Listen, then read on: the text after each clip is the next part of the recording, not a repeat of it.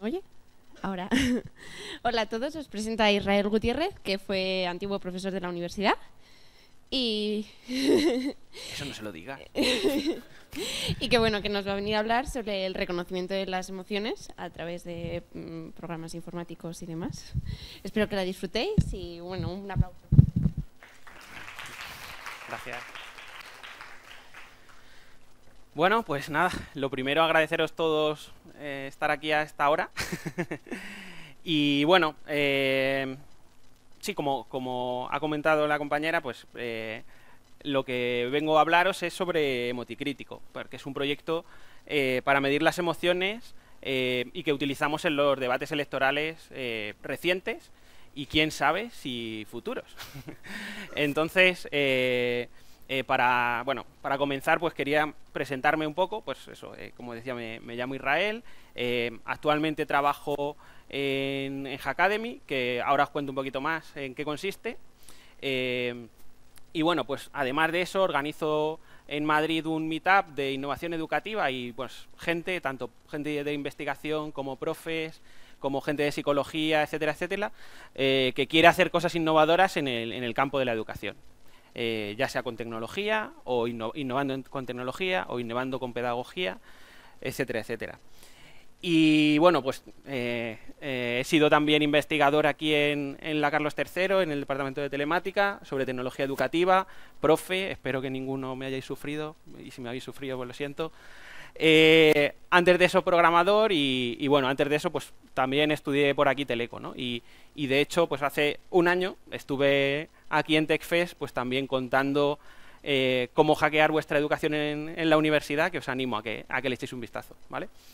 Entonces, bueno, pues para, comenzar, como decía, voy a, voy a contar un poco más sobre Hackademy para poner en contexto dónde surge este proyecto.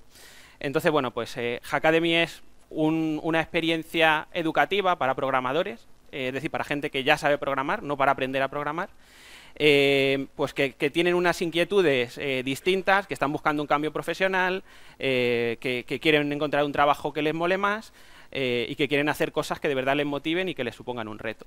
Entonces, bueno, pues organizamos un retiro de dos meses, de nueve semanas, donde pedimos dedicación completa. Entonces, es un esfuerzo que hay que hacer, no económico porque es gratuito, pero sí en tiempo y en coste de oportunidad. Eh, para juntarte con, otras personas, con otros desarrolladores, a, hacer proyectos open source y aprender ¿no? y mejorar tus habilidades.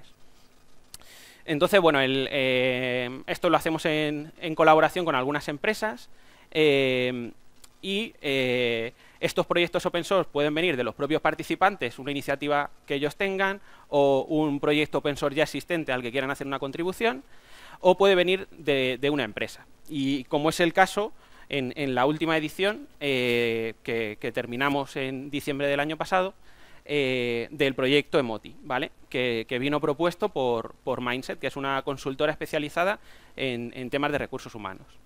Entonces, ¿en qué, ¿en qué, consistía este proyecto Emoti? ¿vale? Que no es Emoti crítico, pero sí es un poco el germen de, ese proyecto. Pues eh, Emoti consiste en recoger información de emociones en tu lugar de trabajo y que la gente de recursos humanos, o, digamos más modernamente eh, gestión de personas, y que se está un poco empezando a cambiar la terminología, eh, eh, pues puedan tener más información del grado de motivación en los equipos y puedan pues tomar acciones para, para bueno pues al final tener gente contenta en su trabajo, ¿no? que estés en tu trabajo y bueno pues seas feliz. pues esto pues lo eh, digamos, la propuesta de proyecto que se plantea es eh, hacer un reconocimiento de emociones a través de, eh, imágenes de la cara, ¿vale? Mediante un, sistema de codificación que ahora, que ahora después os, doy los detalles y que bueno, permite a través de cómo están colocados los músculos en la cara, dada una imagen, pues inferir con un porcentaje de probabilidad qué emociones está, está sintiendo esa persona. ¿vale? Entonces, bueno, pues eh, ese, eso eh, se procesa y se da a, los departamentos de recursos humanos para que ellos bueno, eh, tomen decisiones o, informadas y basadas en esos datos. ¿vale? Entonces, cuento muy brevemente el, proceso, pues la primera fase consiste en un face tracking, en, pues dado una, una webcam o una, pequeña cámara, pues detectar dónde está la cara de, la persona y reconocerla. Después sobre esa, sobre se tomaban instantáneas, se tomaban fotografías eh, y se hacía un análisis de emociones eh, en ese instante qué, emociones estaban teniendo. Em, eh, después se hace un procesamiento de los datos, anonimización, agregado por, grupos de trabajo y se presenta a los departamentos de recursos humanos, que esta es, una esta es la siguiente fase que, que hay por desarrollar en el proyecto y una última de, awareness, es decir, que, de, que las propias personas sean conscientes de qué emociones están teniendo, ¿vale? Eh, y, digamos, eh, puedan eh, actuar en consecuencia, es decir, no dar esa información solo agregada a, este departamento, sino que tú mismo seas consciente de eso. Que muchas veces se parece obvio, pero no lo es. Em, entonces, bueno, pues, como decía en la última edición, eh, sobre todo implicadas tres, tres, personas en este proyecto, pues tanto eh, Raúl como Carlos desde Hackademy, eh, que estuvieron haciendo la mayoría del desarrollo, y, desde Mindset Fede, que estuvo pues haciendo toda la parte de diseño. Entonces, pues empezamos a implementar la parte de, de tracking, pues haciendo una pequeña aplicación Qt, ¿vale? Eh, que es, bueno, se conectaba a la cámara y iba tomando estas instantáneas. Esas instantáneas, pues eh, eh, al principio hacíamos reconocimiento facial utilizando OpenCV y luego el de emociones con una librería que es CLM Tracker, ¿vale? Pero bueno, aquello iba, funcionaba un poco regular, bastante, bastante mal.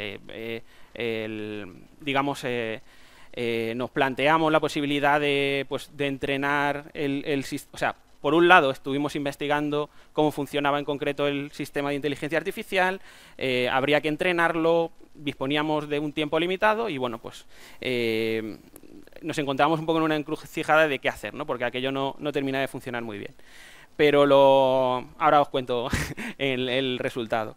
Eh, entonces, bueno, pues eh, empezamos a hacer ese, desarrollo eh, y bueno, como una pequeña coña que teníamos en, esta última edición, eh, que cuando tú vas a hacer un proyecto nuevo, cuando vas a una startup, como que te dan la mochila donde vas cargado siempre con, con Node y con Mongo, ¿no? Pues ahí, eso es lo que, eso es lo que eh, utilizamos para el desarrollo, eh, no porque fuesen las tecnologías más adecuadas para hacerlo, sino simplemente porque eran las que e, ese grupo de personas quería aprender. ¿vale? Eh, entonces, lo que quería contar también aquí es que el, tema de reconocimiento de emociones pues, se basa en un estudio de Paul que es un psicólogo americano, y que, que, desarrolla él ese sistema de, de, codificación FACS que pues los músculos de la cara eh, les da una serie de... Eh, una codificación concreta y a partir de eso pues se define esta, esta taxonomía, o sea, hay unas emociones concretas que podemos definir, es decir, si tengo 1C, 2C, 4B, pa, pa, pa, eso va asociado con una probabilidad a esta emoción, ¿vale? Entonces, son eh, siete las emociones que, con las que estuvimos trabajando, que son eh, felicidad, tristeza, sorpresa, miedo, enfado, asco, desprecio y eh, neutral, que es la ausencia de todas estas. ¿vale? Em, y bueno, pues eh, justo en mitad del proyecto, en noviembre, ¿no? porque lo, lo arrancamos a finales de octubre, pues salió este proyecto de Microsoft, eh, Project Oxford. Bueno, ya existía el proyecto, pero añadieron una API nueva eh, que tenía esa capacidad de, detección de emociones, ¿vale? Lo estuvimos probando y la verdad es que funcionaba bastante mejor que CLM Tracker y, que el pequeño esfuerzo que habíamos hecho con, con, eh, OpenCV. Entonces, lo utilizamos, montamos un primer prototipo y bueno, pues aquello funcionaba mm, razonablemente bien, ¿vale? Dado pues la cámara, eh, se tomaban snapshots de eh, la, cara de la persona, se enviaba a Oxford y se, extraían las emociones, la información de emociones. Entonces, si ¿qué tiene que ver todo esto con política y con el, con el resto ¿no? del rollo? Pues, pues resulta que eh, pues, cuando ya teníamos este prototipo funcional, pues justo era comienzos de diciembre, ¿no? ¿Y, de qué hablaba todo el mundo a comienzos de diciembre? Pues del dichoso debate este, de, debate decisivo de eh, que va a haber en la sexta, no sé qué, donde estas cuatro personas van a debatir y tal, ¿no? Y como, bueno, pues como algunos proyectos de innovación creo que han surgido, ¿no? Eh, pues, eh, y este en concreto, pues, pues todo partió de un no hay huevos A. ¿no? Eh, entonces, un día comiendo, decimos, y, y, sobre, sobre esto, ¿no? sobre este debate que va a hacer, ¿qué os parece si utilizamos este proyecto que estamos haciendo con el objetivo de, de, dar información a gente de recursos humanos y, no sé, y lo, y lo aplicamos? ¿no? Y, pero bueno, el tema es que hoy es jueves y el debate es el lunes. Entonces, bueno, ¿qué vamos a hacer? Eh, pues nada, pues currar el fin de semana, ¿no? Entonces, nada, decidimos hacerlo. Y bueno, un poco os cuento las decisiones de urgencia que tomamos eh, a primera instancia, ¿no? Lo primero es, venga, vamos a hacer un fork de Moti para no guarrinear porque estaba con un código medio decente eh, y bueno, pues de ahí vamos a hacer algo concreto para, para la parte de debates a toda leche y bueno, pues con una calidad que ahora veréis, eh, bastante razonable, mm, razonablemente baja. Eh, eh, como infraestructura, pues no queríamos, mm, digamos, si, si la cosa tenía medianamente éxito, no queríamos tener ninguna infraestructura en la nube ni nada parecido, dijimos, bueno, pues eh, lo que vamos a hacer es utilizar Twitter como eh, para, dar la difusión a, lo que hagamos y bueno, pues eh, nos ahorramos tener que montar un servidor, poner allí las cosas y tal, sino que la información, los datos que generemos, pues los vamos sacando en Twitter, ¿vale? Luego también decidimos pues, hacer un análisis de, ese evento en vivo, es decir, que se podría luego hacer un análisis eh, del vídeo resultante, ¿no? pero que resultaba mucho más, más divertido y más eh, nos gustaba mucho más la idea de poder hacerlo en vivo. Eh, y por último, bueno, pues que, no queríamos hacer juicios de valor con las emociones que saliesen, sino simplemente exponer los datos que, resultantes y dar datos a la conversación de la gente centrada en emociones. Eh, ya está, ¿no? Alguna vez pues no lo cumplimos y troleamos un poco, pero, pero en general eso era, eso era lo que queríamos hacer. Entonces, bueno, pues como decía antes, cuando haces algo rápido y pues ahí con, en cuatro días y un fin de semana y tal, pues suceden cosas como que tienes algunos test que tuitean. eh, no, no, no, es que tuviésemos una cobertura enorme de test, pero bueno, hicimos, hicimos algunos, eh, los justitos para, que, para estar tranquilos y bueno, pues nuestros test tuiteaban. Eh, y luego pues me diréis, os enseño un poquito de código de, bueno, de, de, la parte de routing, no sé si habéis utilizado alguna vez Express, pero bueno, pues donde, donde puedes definir, dado una, pues eso, una una llamada a ese servicio, eh, la función que, que, va, eh, que se va a ejecutar cuando, cuando suceda esa llamada. ¿no? Entonces, si veis, es eh, muy RESTful, empezamos y en verde y tenemos aquí embebido todo, toda la lógica,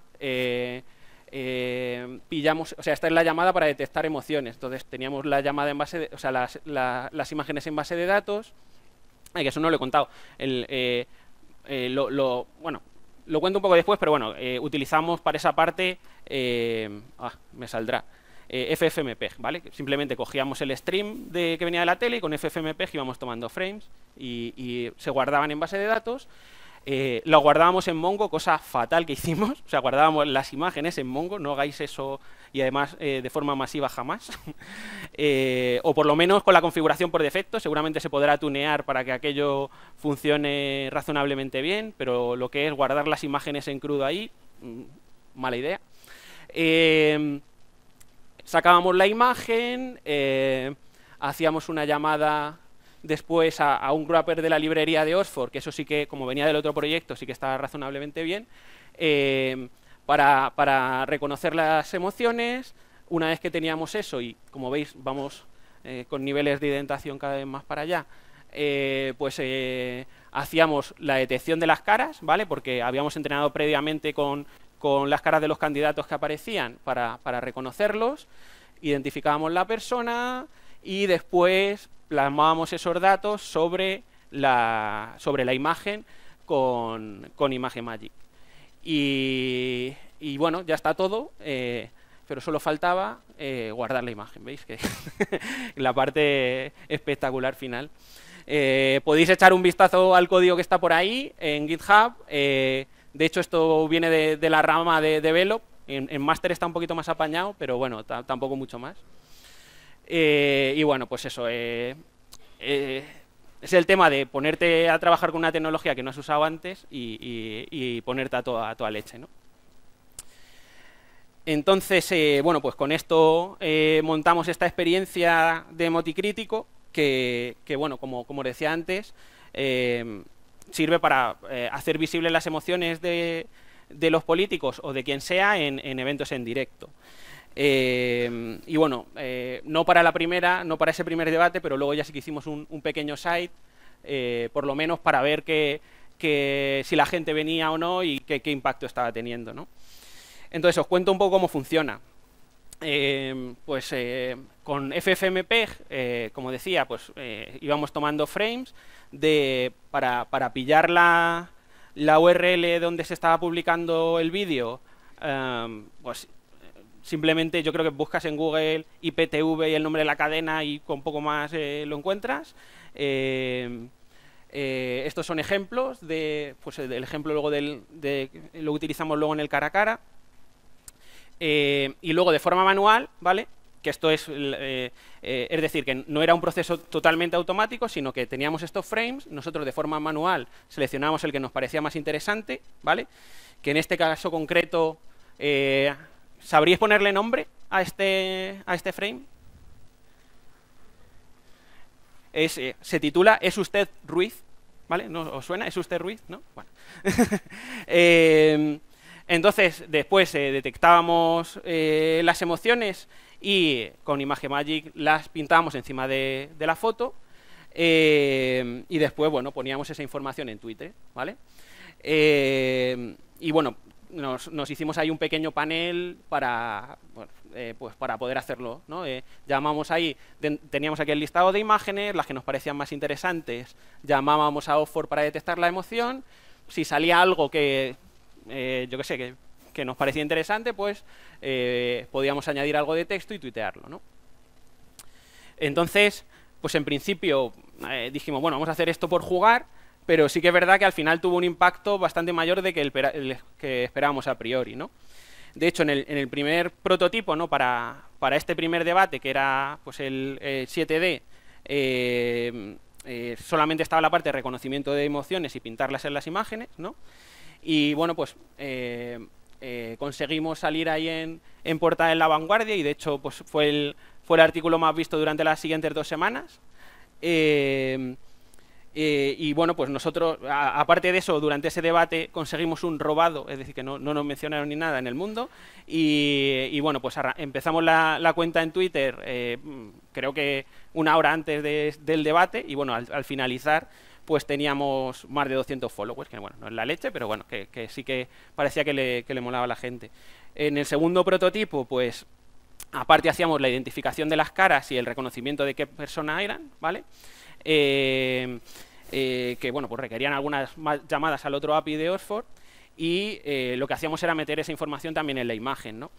Y, bueno, pues conseguimos de nuevo salir en, la vanguardia. también le hicieron a, Mónica, mi socia, un, una entrevista ahí en Radio 3 y, bueno, pues también salimos ahí mencionados en un, en un especial de las elecciones que hizo ABC. Y, luego, pues la tercera evolución del prototipo, y ya esto no era en directo, sino que era, eh, eh, hacíamos un análisis del vídeo una vez terminados eh, los debates y hacíamos, íbamos tomando la información de emociones y hacíamos la media de, pues, para cada uno de los candidatos, cómo había sido la evolución a lo largo del tiempo, ¿vale? Bueno, o sea, cuál había sido la evolución a lo largo del tiempo y lo, eh, hicimos distintos tipos de visualizaciones de datos, una de ellas pues con la media, ¿no? De, bueno, pues cuánta tristeza de media, cuánta alegría, etcétera, etcétera. Em, y bueno, pues con este último análisis, pues también tuvimos una publicación ahí en, el diario que era sobre, sobre temas de el uso de, temas de género eh, durante el, digamos, ah, no me sale, durante este electoral, durante, o sea, antes de las elecciones, ¿vale? Eh, y bueno, como eh, algunos de los partidos utilizaban el género para como arma política, ¿no? Y, bueno, pues en este caso hicimos el debate, o sea, un análisis del debate este a 9 que hubo, que este que no se enteró nadie hasta que iba a ser a la una de la mañana, pero luego de repente lo pusieron en prime time y todo el mundo se enteró ese día. Y, nada, bueno, pues eh, vimos, eh, hicimos un, gráfico en modo araña, eh, interactivo, donde se podía ver la, la media de las emociones de todos los participantes expuestas ahí sobre, sobre ese diagrama y luego eh, que las mismas emociones medias, pero que se habían tenido solamente en la parte que se hablaba de género, ¿vale? Y bueno, pues para hacer ahí una comparación. Y nada, bueno, pues eh, esto más o menos lo que, venía a contaros, ¿no? Y que al final eh, un poco lo que queríamos con el proyecto era poner las emociones en el centro de debate y, bueno, pues dar datos para que la gente debatiese y que bueno, pues continuando con el, con el proyecto de Moti, pues al final queremos hacer algo similar, pero pues eh, eh, con, la gente en el trabajo. Es decir, que bueno, pues al final intentar que, las personas sean lo más felices posible en el trabajo. Y bueno, es lo que os venía a contar. Seguro que os quedan dudas, así que preguntad. ¿Sí? No sé si... Espera, te doy esto.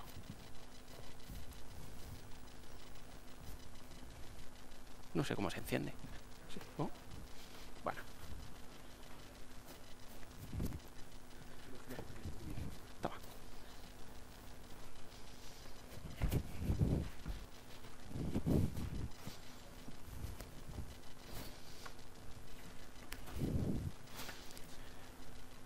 Bueno, pregúntame y ahora, si acaso lo repito o lo que sea. Claro, lo repito.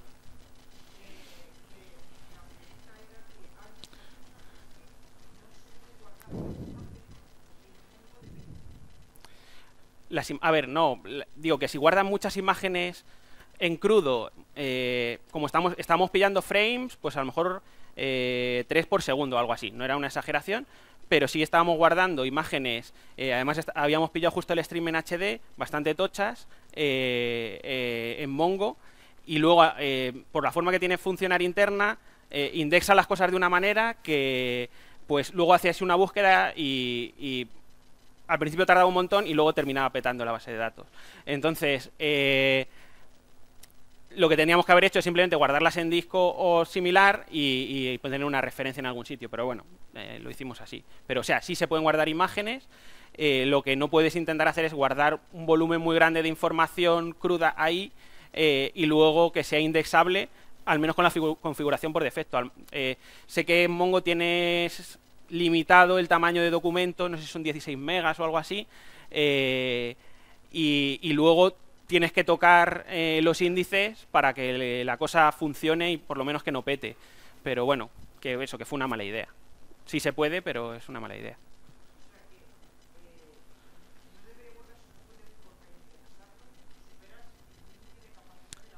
No, no, no, no, no al indexar no, no, a ver. El, bueno, me preguntan, bueno, respondo.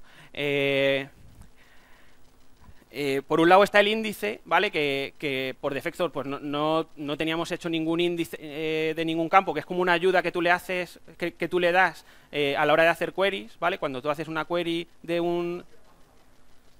No, cuando tú dentro de una colección haces una query para buscar documentos, si tienes un índice puedes encontrarlo más rápido, ¿vale? Así súper... Entonces, sin, ese índice, el, eh, Mongo lo que hace es ir byte a byte, eh, lo va buscando. Entonces, si en medio tienes un, tocho de imagen, pues va a tardar mucho en recorrérselo todo. Básicamente, no sé si por encima lo que el problema. No sé si más o menos. Guardarlo en disco. Eso es. Eso es. A lo mejor con otro tipo de base de datos, no lo sé. Eh, tiene más sentido hacerlo así, pero, pero yo creo que no. Creo que no, no sé.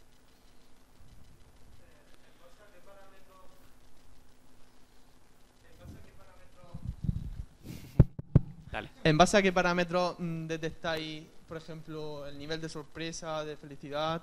Sí. O sea, ¿qué, fia- qué fiabilidad tiene realmente? A ver, fiabilidad. eh,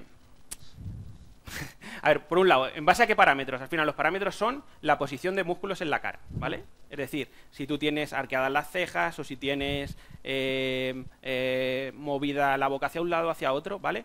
Eh, está claro que hay, por ponerte un ejemplo, personas que salían con que tenían las cejas más altas tenían un grado de sorpresa mayor de media que el resto, ¿vale? Pero al final lo interesante es no, no es tanto la medida absoluta, sino la evolución en el tiempo. Por eso el, último análisis es más interesante, porque puedes ver que alguien que de media a lo mejor tienes así de sorpresa, pero por, o sea, tienes muy poquito, pero subes en un punto eh, hasta aquí, ¿vale? Eh, o alguien que eh, tiene ese mismo salto, aunque parta de un, de un grado más alto, ¿no? O sea que al final, eh, midiendo esos cambios, esas diferencias, es donde, donde sí que se puede sacar información, diría yo, más eh, veraz, ¿no? Eh, pero, bueno, pues eso, grado de... Fiabilidad. ¿De, de qué? De, De fiabilidad. de fiabilidad, pues eh, al final se ha entrenado con mogollón de caras, o sea, seguro que lo han entrenado así porque funciona bastante bien. eh, eh, o sea, que en cuanto pones a alguien que sí que sabe del tema, un psicólogo, y dice, o, alguien, entiendo, o de psicología o pedagogía, lo que sea, sí, de psicología, eh, eh, que dice, vale, pues esta es una expresión de sorpresa o tal, o, y, que sí que sabe hacer interpretaciones de, de, ¿cómo se dice?, de comunicación no verbal, ¿vale? Y sí que funciona bastante mejor que lo que estábamos haciendo al principio, que estaba entrenado muy, muy poquito. Entonces, eh, no sé, no, no te puedo decir, oye, pues es fiable, no es fiable eh, en cuanto, pero eh, digamos que como una medida cualitativa, alguien que consigue, o sea, alguien que teníamos en el equipo con ese conocimiento de lenguaje no verbal, decía que, o sea, no- nos confirmaba eso, ¿vale? Podríamos haber hecho un análisis más eh, eh, exhaustivo y tal, puede ser, pero bueno, al final el objetivo era, o sea, no, era tener esa fiabilidad, sino, sino que era otro, ¿vale? Vale. No sé si te he respondido no. Sí, sí, más o menos, sí. Gracias.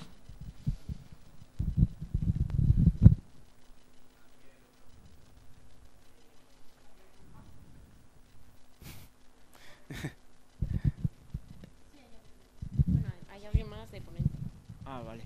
Eh, sí, eh, la secuencia de fotogramas que lo llamáis frame, ¿verdad? Sí, bueno, eh, sí. Es, cuando dices frame es secuencia de fotogramas. He Es- dado un vídeo, vamos sacando imágenes estáticas de- Sí. del vídeo. O sea que el frame es un fotograma. Sí, Vale. llámalo como quieras. Eh, ¿Cuál es la pregunta? lo que es la secuencia de fotogramas, eh, ¿cómo lo habéis hecho? Hemos cogido el vídeo y hemos dicho FFmpeg, cada, eh, cada 0,3 segundos cógeme una imagen. Y él lo cogía. Y lo guardaba donde le decíamos. Y, y ya por último, eh, salía vuestro programa en un montón de medios de comunicación porque el, el programa que habéis eh, creado era eh, código abierto o por qué? No, bueno, no creo que esa fuese la principal razón, sino porque eh, pusimos sobre, sobre la mesa eh, datos sobre emociones eh, durante los debates en vivo y bueno, pues la gente los utilizó eh, para, para tener conversaciones. Entonces, bueno, pues a los medios les gustó que hubiese esas conversaciones y lo, y lo publicaron. Pero el análisis emoti- emoticrítico no lo hace en tiempo real. Lo hace ya después, pasado el, el vídeo. Ya sabes, la realidad aumentada. ¿Me explico? Mm, regular. Pero vamos, la... teníamos una parte en la que sí que hacíamos un, análisis durante los eventos, pero seleccionábamos manualmente qué fotograma se analizaba y luego una- un análisis a posteriori, que es el con el que hacíamos las gráficas estas al final.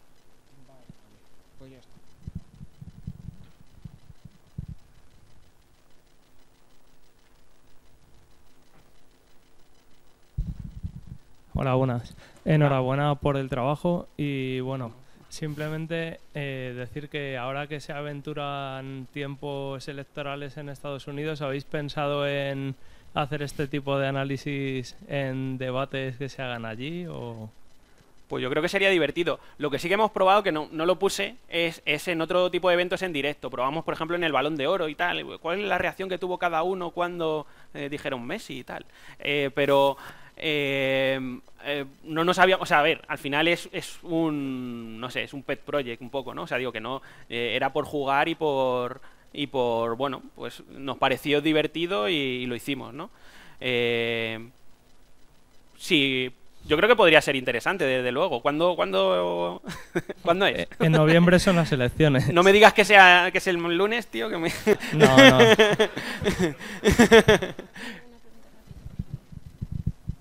Hola, muchas felicidades por tu proyecto. Eh, una pregunta sobre las posibles aplicaciones eh, comerciales de tu trabajo y bueno, antes de que me respondas estaba yo pensando, por ejemplo, pudiera ser que para un auto, un autobús, eh, leyera la expresión del conductor para evitar pues que se quedara cansado, que bueno, esto se puede hacer también por lectura de signos vitales, pero yo creo que esto pudiera evitar para prevenir muchos accidentes, ¿verdad?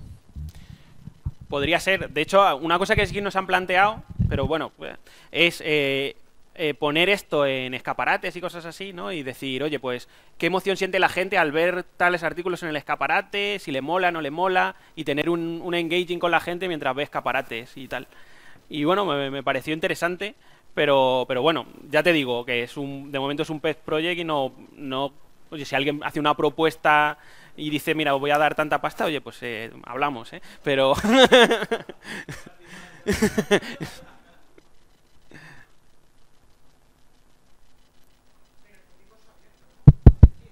Sí, está ahí en GitHub. Sí, es un poco, está un poco guarrete, pero está ahí. Sí. Perdona, decías que esto ha surgido de una empresa de gestión de personas, o sea, de recursos humanos. Eso es. Eh, cuando se hicieron el planteamiento nos ponía un poco los pelos de punta. O sea, a mí me recuerda a la isla. Eh, parece que está usted disgustado. Eh, ¿Qué le pasa? O sea, es... Ya, ya, Desde ya, el punto de vista ético no se ha, planteado cierta... Sí, sí, sí, por supuesto. sí, es la primera pregunta que hacen siempre. Eh, pues, a ver, eh, esto sería todo con consentimiento de la gente. O sea, digo, una vez que, se, que tengamos primero un, primer prototipo, un primer piloto, eh, con consentimiento de la gente, que la gente lo quiera hacer, o sea, no forzar a nadie, eh, y, y que si al final tú ves que repercute positivamente en ti y conocer tus emociones eh, no sé, pues te, te, ayuda a decir, oye, pues es que me, eh, estoy súper triste todos los días. A lo mejor tendría eh, otro tipo de actividad o en otro sitio eh, haría cosas que me molara, molasen más. ¿no?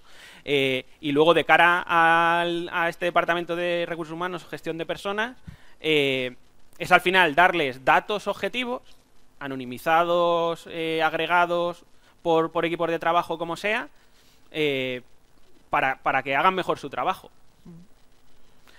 En cualquier caso te felicito. Bueno, os felicito Bueno. al equipo porque la verdad es que está muy bien. Gracias, Jorge, tío. Perdonad, pero hay una charla ahora y si queréis hacerle más preguntas ya sería en plan más personal, ¿vale? Porque hay ponentes esperando y más gente esperando, ¿vale? Perdonad.